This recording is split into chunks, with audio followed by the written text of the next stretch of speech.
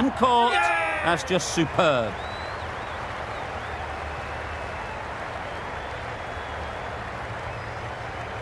An innings that promised much and really, in the end, delivered very little. Pretty disappointing all round. And with that wicket, the new batter will mark their guard. They just need to rotate the strike early on as they get settled.